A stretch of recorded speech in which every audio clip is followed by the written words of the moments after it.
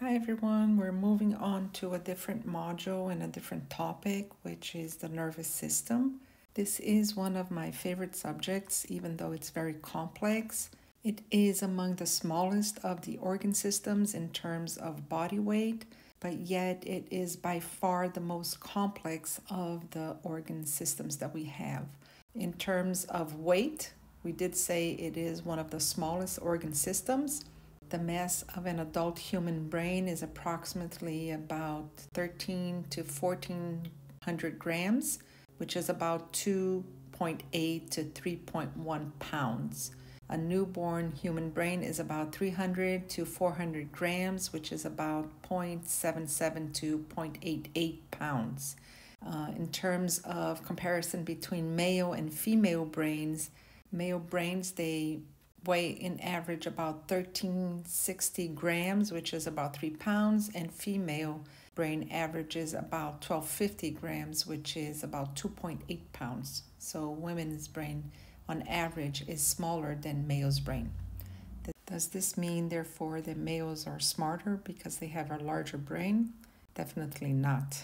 Um, the size of the mass is not what matters. What matters is the connections that you have between the neurons, between the right and left hemispheres of the brain. In fact, the brain of Albert Einstein weighed about 2.7 pounds, so a little bit less than the female's brain, but his corpus callosum, which is the area of the brain that connects the right and left hemispheres, is actually pretty big. So there are several things that influence how smart you are, not the mass, not the size of your brain. So moving forward, we will cover in this specific learning outcome the functions of the nervous system. Even though the nervous system is this very highly organized network, it only contains two major types of cells. Isn't that amazing? It contains the neurons and the neuroglias. Neurons can also be called nerve cells. Neuroglias can also be called glial cells. It does contain billions of neurons, but we have even more neuroglias, and we will talk about these cells in more details in the upcoming slides. We can actually divide the nervous tissue into two subdivisions. We have what we call the central nervous system and the peripheral nervous system. The central nervous system is going to be comprised of the brain and the spinal cord, and the peripheral nervous system will be comprised of the cranial nerves and the spinal nerves, which are the nerves that exit the spinal cord, as we can see here on this image. So everything that's down the midline will be part of the central nervous system, and that's again only the brain and the spinal cord. Everything else will belong to the peripheral nervous system. Here in this module, we're just going to do an overview of the different types of cells.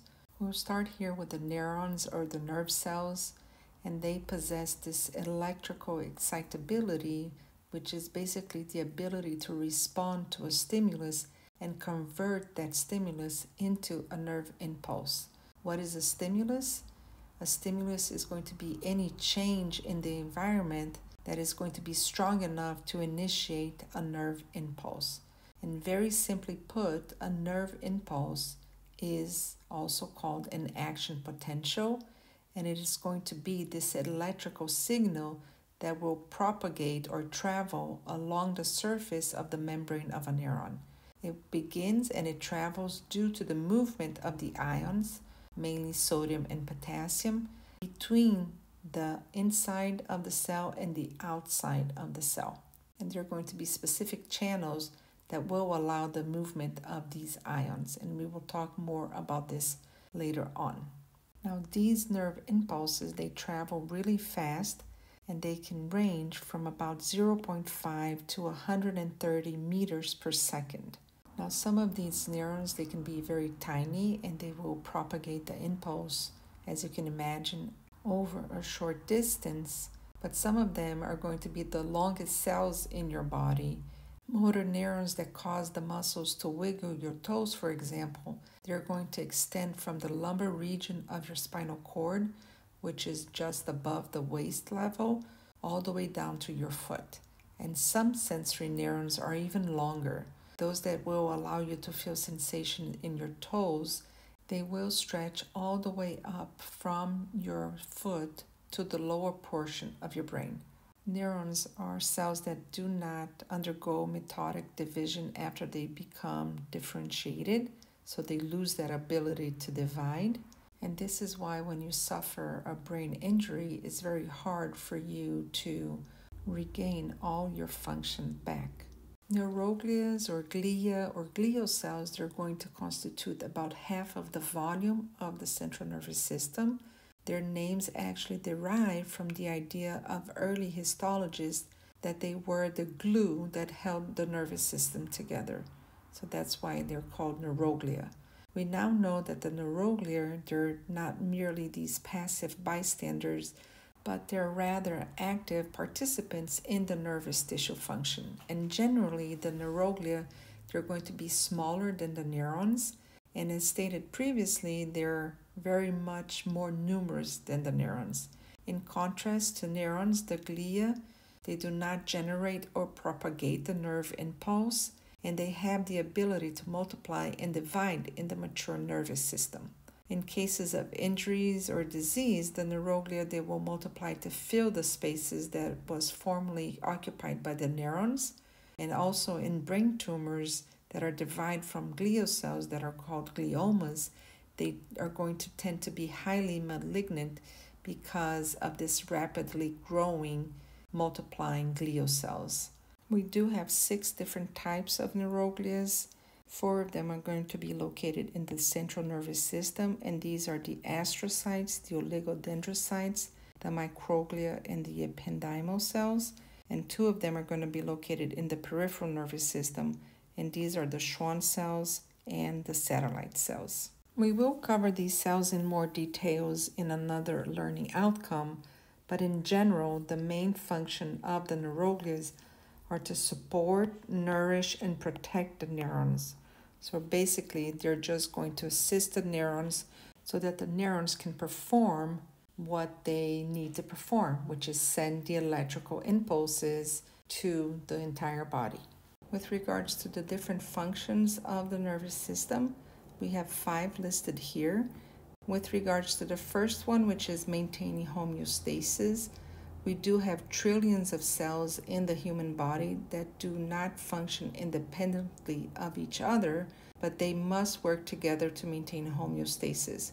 For example, your heart cells, they must contract at a rate that will ensure this adequate delivery of blood to all tissues of the body. And the nervous system can either stimulate or inhibit these activities to help maintain homeostasis. So, for example, if you're doing extra exercise, then you need more oxygen. So, this stimulus will come from the central nervous system for your heart to beat faster to be able to supply your blood with more oxygen. So, that will be one of the functions of the nervous system. Next, we have the receiving sensory input, and this just means that the sensory receptors they will monitor numerous external and internal stimuli as we are aware of sensations from some stimuli such as vision, hearing, taste, smell, touch, pain, body position, which we talked about already, temperature, and other stimulus such as blood pressure, blood gases, and blood pH. And all of these are going to be processed at an unconscious level, meaning that you're not aware of these stimuli. In other words, that you don't have to think about them for them to happen. Next, we have the integrating information. So, the brain and the spinal cord, which are part of the central nervous system, they're going to be the major organs that are going to be processing the sensory input and initiating a response for this information that's arriving at the central nervous system. The input may produce an immediate response, and also it can be stored as a memory or it can be ignored. And we will talk about how this integration will occur later on. Next, we have the controlling of muscles and glands. We know that skeletal muscles they normally contract only when stimulated by the nervous system.